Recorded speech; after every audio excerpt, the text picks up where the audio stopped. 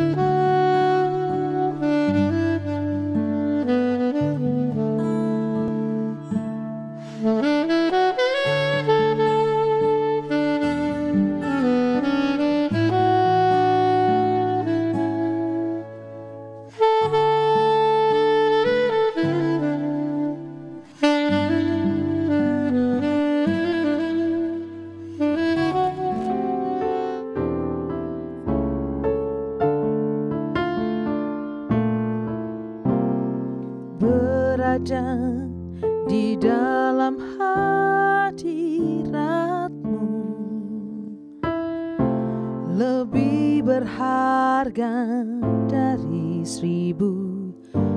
hari.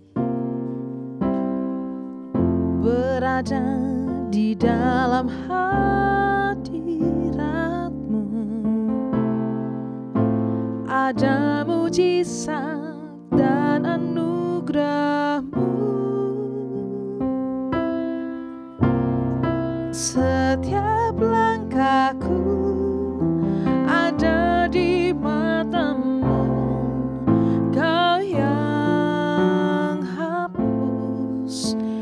berjejakan anugerah Tak kau biarkan ku jalan sendiri. Percayaku sepenuhnya di dalammu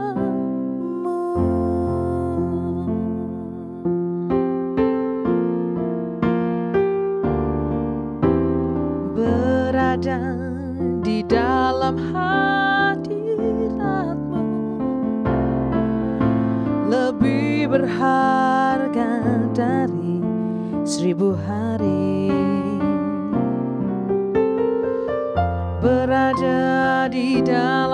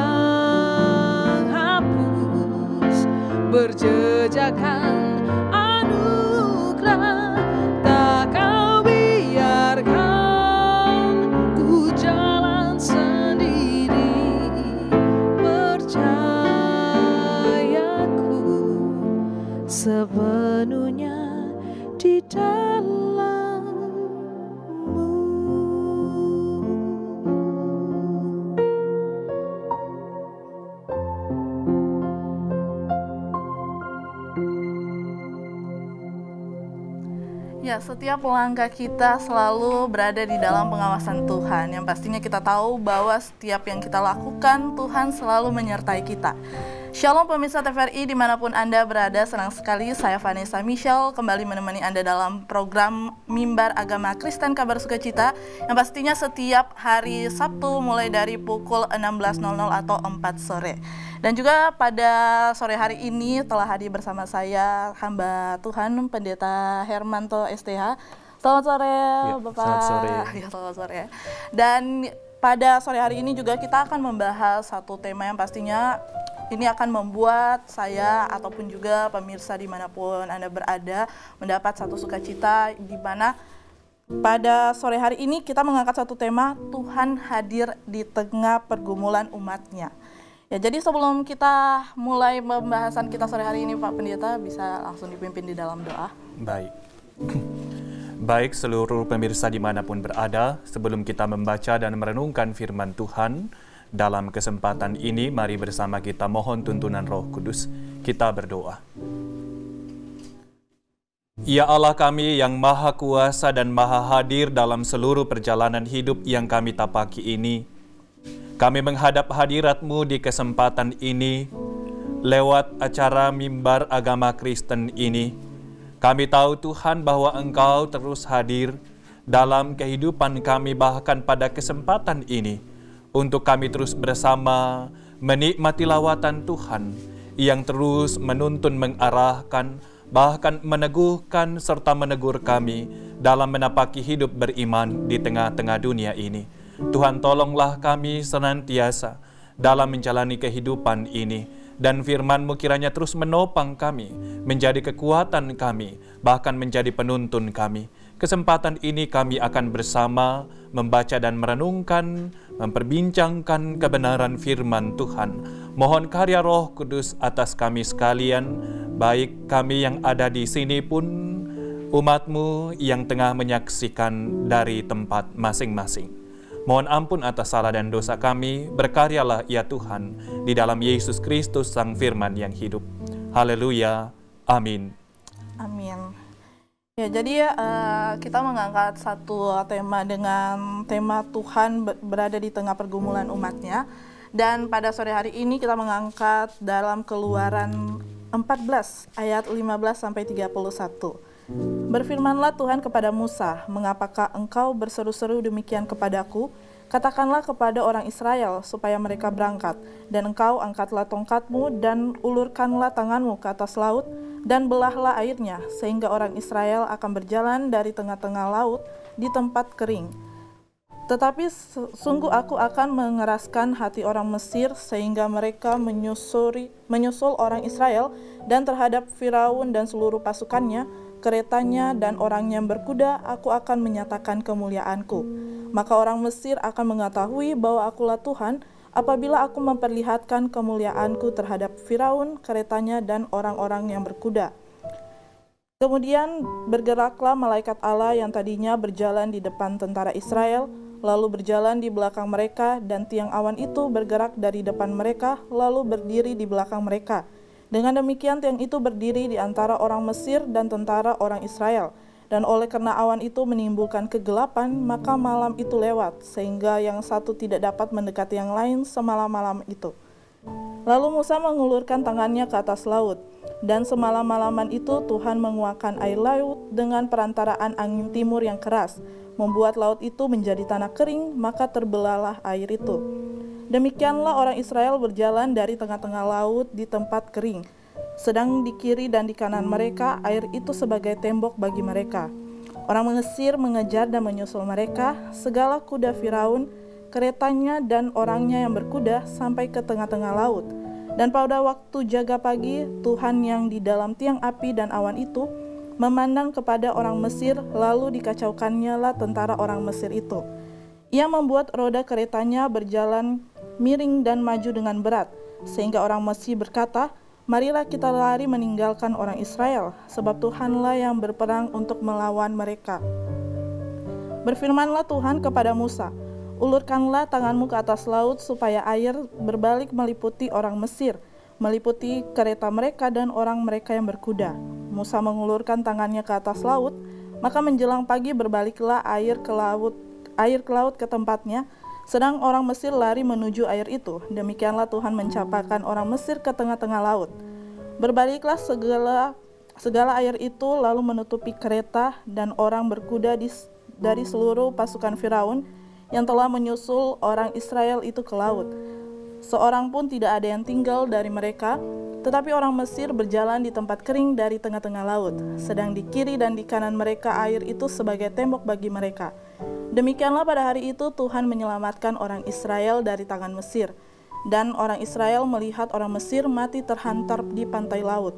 Ketika dilihat oleh orang Israel betapa besarnya perbuatan yang dilakukan Tuhan terhadap orang Mesir, maka takutlah bangsa itu kepada Tuhan dan mereka percaya kepada Tuhan dan kepada Musa hambanya itu.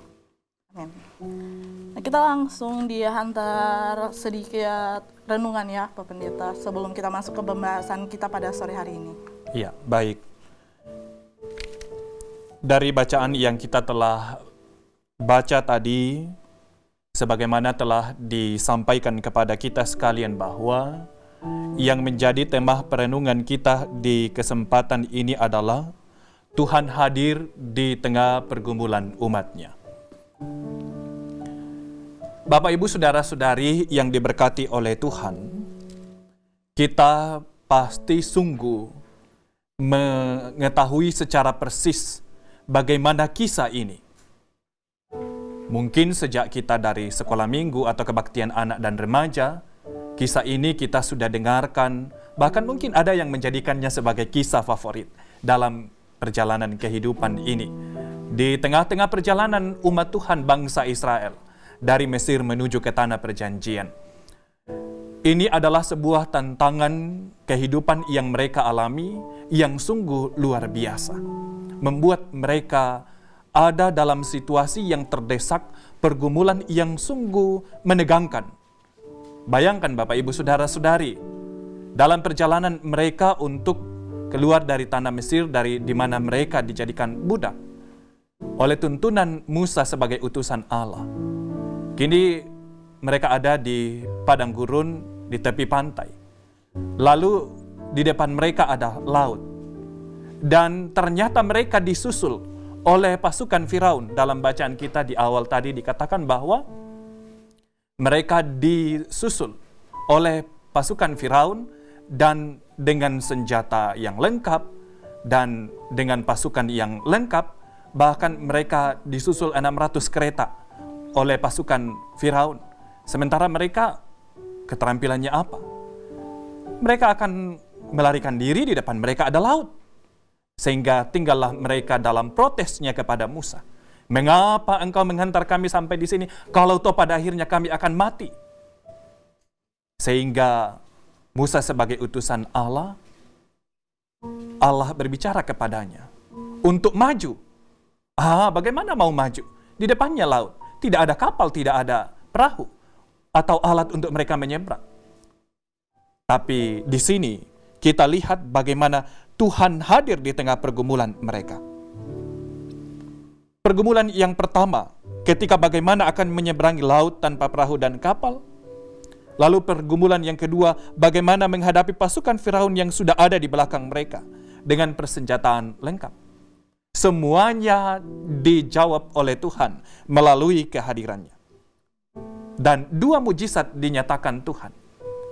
Yang pertama, solusi untuk laut itu Musa taat mendengarkan perintah Tuhan dan dibelahlah air itu dan mereka berjalan menyeberanginya dan kisah dalam bacaan kita dikatakan mereka menyeberanginya dengan selamat. Lalu bagaimana situasi di belakang mereka ketika mereka dikejar oleh pasukan Firaun yang tadinya malaikat yang berjalan menuntun mereka, tiang awan yang ada di depan mereka kini bergeser ke belakang untuk menghalangi supaya mereka tidak saling melihat paling tidak ini mengurangi uh, tekanan psikis umat Israel yang sedang dalam kejaran pasukan Firaun sehingga mereka tidak saling melihat dikatakan dalam bacaan kita dan dengan apa yang dibuat Allah itu ada yang menutupi sehingga mereka tidak saling melihat. Lalu bagian yang kedua ketika mereka sudah memasuki laut dan ternyata masih disusul oleh pasukan Firaun. Tuhan bekerja lagi. Ketika mereka sudah di tengah laut pasukan Firaun. Tuhan bekerja dan bagaimana mereka ditutupi oleh air. Bagaimana kereta mereka tidak bisa berjalan cepat dan berjalan miring Tuhan membuat mereka susah untuk maju. Dan pada akhirnya dikatakan dalam ayat bacaan kita di bagian ayat 30. Demikianlah pada hari itu Tuhan menyelamatkan orang Israel dari tangan orang Mesir. Dan orang Israel melihat orang Mesir mati terhantar di pantai laut. Sungguh Tuhan bekerja dalam pergumulan umatnya ketika dalam situasi yang tertekan dan terdesak dan seperti nyawa mereka dalam ancaman, Tuhan tidak tinggal diam. Tetapi Tuhan bekerja dengan rupa-rupa caranya dengan orang yang ia pakai bahkan lewat alam yaitu laut sendiri. Ia bekerja bagi umatnya dalam pergumulan itu sehingga umatnya selamat dalam kehidupan kita. Tentu pergumulan kehidupan adalah bagian perjalanan hidup kita. Mari mengingat bagian firman Tuhan yang kita dalami pada kesempatan ini. Bahwa Tuhan tidak tinggal diam, ia hadir dalam pergumulan apa pun yang kita alami. Amin. Amin ya. Uh, satu bacaan Alkitab yang memang ini sangat menguatkan kita terlebih di situasi seperti sekarang ini ya Pak Pendeta Iya. kita berada dalam situasi pandemi pastinya juga banyak sekali pergumulan yang kita rasakan terlebih kita tahu sebenarnya Tuhan itu hadir dalam setiap kehidupan kita. Nah eh, saya ingin tanya soal sebenarnya apa arti menurut dari Alkitab sendiri apa arti kehadiran Tuhan dalam hidup kita? Ya, kalau apa arti kehadiran Tuhan bukan ya kadangkala eh, kalau saya katakan apa arti kehadiran eh, dalam kehidupan saya orang tertentu, mungkin Ya. saya bilang saya harus melihat dia, dia ada bersama dengan saya itu arti kehadirannya. Ar- Tapi pada bagian ini kita diajarkan bagaimana arti kehadiran Tuhan, bahwa Tuhan bisa hadir dengan berbagai caranya, dengan apa yang ada di sekitaran kita, bahkan dengan utusannya. Dalam bacaan kita lewat Musa Tuhan hadir dan bahkan dikatakan dalam bacaan kita ada malaikat, ada tiang awan, tiang api dan ada uh, cara Tuhan bagaimana ia menyatakan kehadirannya di dalam kehidupan ini. Jadi uh, arti kehadiran Tuhan adalah kita merasakan tindakan Tuhan dalam kehidupan kita yang bukan berarti pribadi Tuhan itu yang oh ini Tuhan berupa pribadi ini. Dia benar-benar hadir.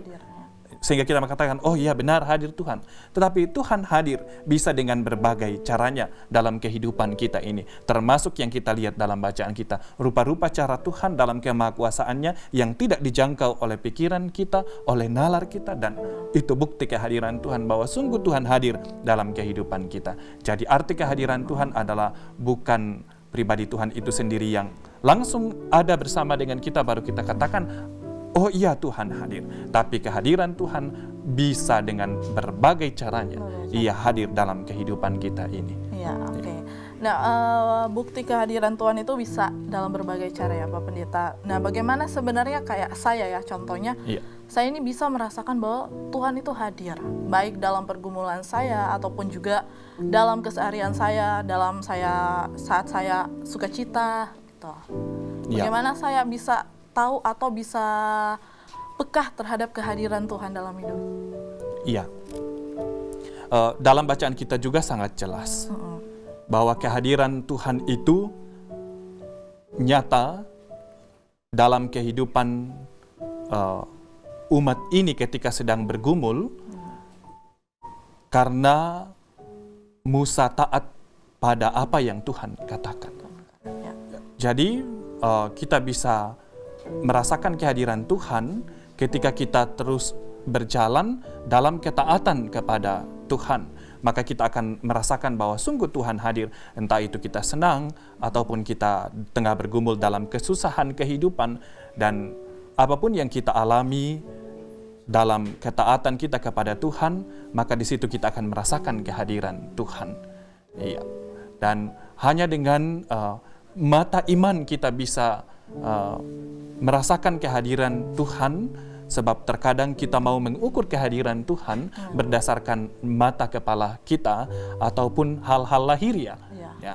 Sehingga kita sulit untuk merasakan bahwa Tuhan itu hadir. Hadir. Bahwa sesungguhnya dalam seluruh perjalanan kehidupan kita, Tuhan itu maha hadir. Tuhan bisa hadir dengan berbagai cara yang ia seperti yang kita sudah ungkapkan di awal tadi sebagai eh, bahwa ia bisa hadir dengan berbagai caranya yang ia kehendaki.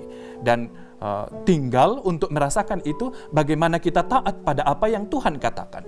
Ke- Musa taat kepada Tuhan ketika Tuhan mengatakan angkat tongkatmu dan belahlah air itu. Dan pertama yang tadi saya ungkapkan itu yang paling tidak masuk akal ketika Tuhan bilang berjalanlah maju Bagaimana akan berjalan maju sementara di depannya laut? Tak ada kapal yang mereka akan pakai. Tapi taat kepada Tuhan tetap berjalan maju dan pada akhirnya Tuhan menyatakan tindakannya lewat perintahnya lagi kepada Musa dan Musa taat dan pada akhirnya sungguh mereka menyaksikan bahwa benar Tuhan yang berperkara dalam bagian ini. Itulah sebabnya orang Mesir pasukan Firaun mengatakan sungguh Tuhan yang berperang bagi mereka Tuhan melawan kita mereka. sehingga benar-benar kehadiran Tuhan itu nyata. Oke, eh, nah Pak Pendeta kan seperti sudah dibilang tadi, contohnya dalam keluaran ini ya, keluaran 14 ayat 15 sampai 31, bagaimana Tuhan hadir itu mulai dari Musa seperti itu, bahkan Musa disuruh mengangkat tongkat, Iya. dan yang paling tidak masuk akal tadi ya kita harus berjalan, eh Iya, oh, umat berjalan Israel, umat Israel. Nah, bagaimana dengan kita yang memang kadang kita itu sudah dalam pergumulan, bahkan kita tidak tahu Tuhan itu hadir, tapi kayak seperti yang contohnya satu contoh yang tidak masuk akal kita harus menghadapi cobaan, apakah itu bukannya Tuhan menguji kita atau bagaimana ini Pak Pendeta? Iya. Iya. Kehadiran Tuhan eh, tadi juga di awal bacaan kita dikatakan bahwa eh, Tuhanlah yang mengeraskan hati eh, Firaun, eh, tentara-tentara Firaun untuk menyusul mereka dengan a- supaya apa? Supaya kemuliaan Tuhan nyata. Tuhan mau menunjukkan kemuliaannya. Dan pada akhirnya memang diakui seperti yang saya ungkapkan tadi. Ya, jadi sungguh bahwa eh, ketika kita bergumul, kita akan menyaksikan bahwa pergumulan itu juga adalah bagian dari Tuhan menunjukkan kuasanya kepada kita. Tinggal kita bagaimana dalam pergumulan itu selalu bersandar pada Tuhan. Dan nyata dalam bacaan kita bahwa Tuhan yang mengeraskan hati tentara Firaun, mengeraskan hati Firaun sehingga mereka menyusul umat Israel. Dan dengan tujuan supaya kemuliaan Tuhan nyata. Karena itu yang kita harus eh, sadari bahwa segala apa yang kita alami dalam perjalanan hidup kita ini tidak lepas dari kendali Tuhan yang maha kuasa yang bisa bertindak untuk kita dengan berbagai rupa-rupa caranya karena itu apa pun yang kita alami terus sadari bahwa Tuhan mengendalikan segalanya dan ada di bawah kendali kuasa Tuhan sehingga kita menjalaninya di dalam tuntunan kuasa Tuhan. Ya. Dan eh, pemirsa TVRI kita masih akan melanjutkan eh, pembahasan kita pada sore hari ini bagaimana Tuhan itu terus hadir dalam segala pergumulan kita. Tapi kita dengarkan satu pujian yang satu ini.